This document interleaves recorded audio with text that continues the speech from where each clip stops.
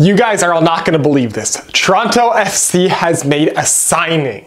I know, I didn't think this could happen either. Kevin Long, 33-year-old Irish centre back, has been signed by Toronto FC from Birmingham City in the English Football League Championship. The centre back position was a big cause for concern for Toronto FC last season. They brought in Matt Hedges at the beginning of the season. He came as advertised but then left mid-season and following his departure, the back line for Toronto FC looked very weak. And now it seems they are trying to remedy that by bringing in veteran, experienced defender Kevin Long. 33, 6 foot 2, solid physical presence defender. Kevin Long has experience playing in the Premier League with Burnley, Championship with Burnley and Birmingham City, and also has had loan spells with several other clubs in the English League 1 and League 2. On top of that, he has made 17 appearances for the Irish national team, the most recent coming in 2020. Now, Kevin Long coming into Toronto FC team is a 33 year old player, and that is a problem. And I know a lot of people are saying, whoa, that's such a video game take to think a guy in their early 30s is washed.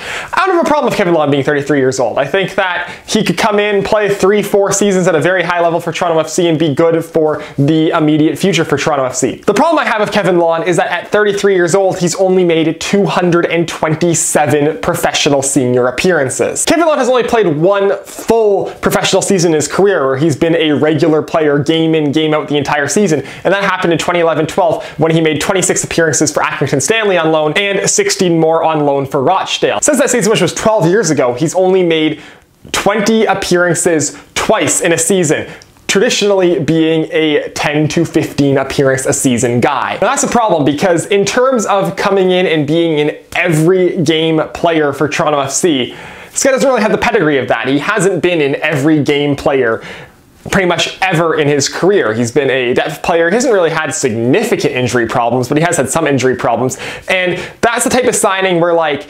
experienced player who can come in off the bench or start the odd game big game for you in MLS. Like that's a great signing if you're a top five club in MLS who's pushing for an MLS Cup. If you're Toronto FC who came last in the league last season and you need a guy to anchor your back line for 34 games plus playoffs, whatever, a guy who has not made more than 20 appearances in a season since 2012 doesn't seem like the best option. Now, I may be wrong, he may be up to the task for that, but it's not a guy who has the pedigree of being a every game, game in, game out, gonna be healthy, gonna be ready to go every game, game in, game out signing. And what Toronto FC needs is an experienced, solid physical presence on the back end who's gonna be there game in, game out. It just reeks of another win now signing, which has been all that Toronto FC's done in recent years and just has not been working for us. The team is bad. The team needs a new overhaul, a new core group to build around. It doesn't need quick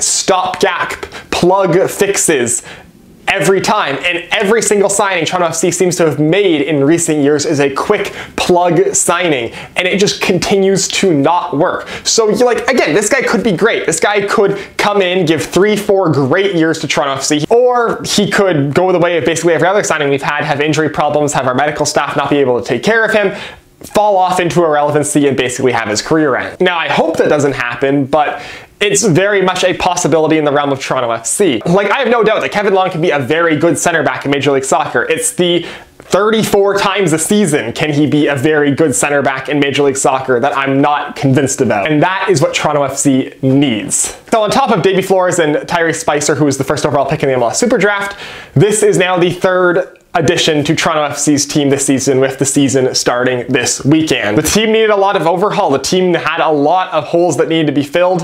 One of them was center back, and this is a center back. So maybe things are going to be a little bit better right now. I still doubt it. A lot needs to be improved on this team, and you know, maybe John Herdman can get the players that we currently have to do it. But so far, with where we are with the signings we've made this offseason and where we are heading into the season, I'm not incredibly optimistic. So that is for this video. As always, if you'd like to hit like if you want to see more of my stuff, hit subscribe, follow my Twitter link is down below in the description, and I will see you next time.